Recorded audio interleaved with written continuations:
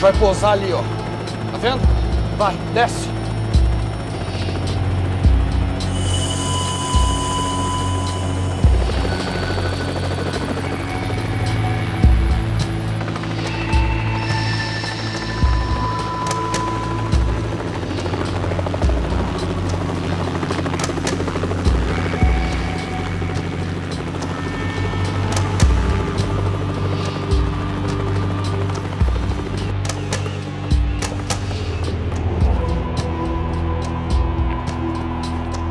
Vai, vamos. Vai, vai, Paco. Tá tudo certo, coração. A gente conseguiu. Agora a gente tem uma vida pela frente.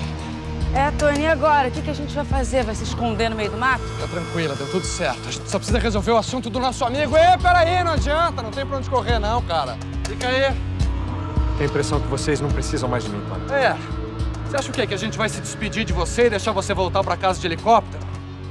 Como você é otimista, Paco. Não, nós três, aqui no alto dessa montanha, a gente vai viver o momento mais emocionante das nossas vidas.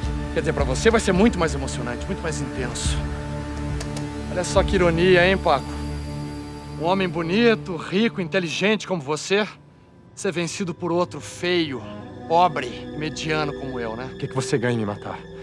Um outro processo, mais ódio contra você, cara. Olha só, coração, ele tá tentando argumentar. Que bonitinho. Era pra eu acabar com você agora. Eu já fiz o serviço no seu velho, era só fazer em você. E da outra vez o pirralho do seu filho atrapalhou, mas agora o moleque não tá aqui pra te ajudar, não, Paco.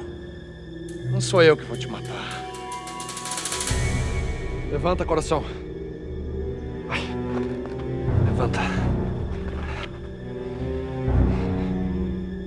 Tá aí, Bárbara.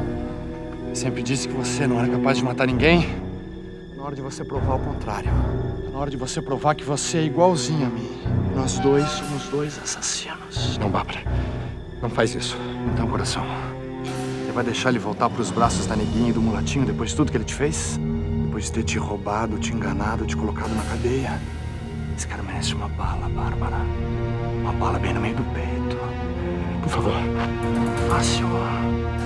Só apertar o gatilho, ó. Jedi.